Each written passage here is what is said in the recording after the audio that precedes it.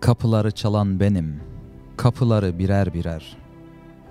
Gözünüze görünemem, göze görünmez ölüler. Hiroşima'da öleli oluyor bir on yıl kadar. Yedi yaşında bir kızım, büyümez ölü çocuklar.''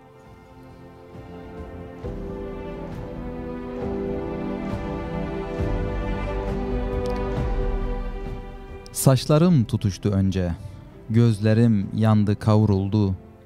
Bir avuç kül verdim, külüm havaya savruldu.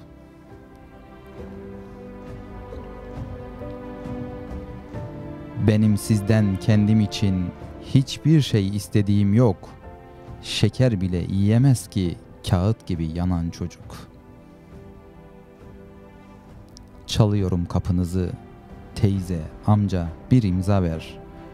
Çocuklar öldürülmesin, şeker de yiyebilsinler.''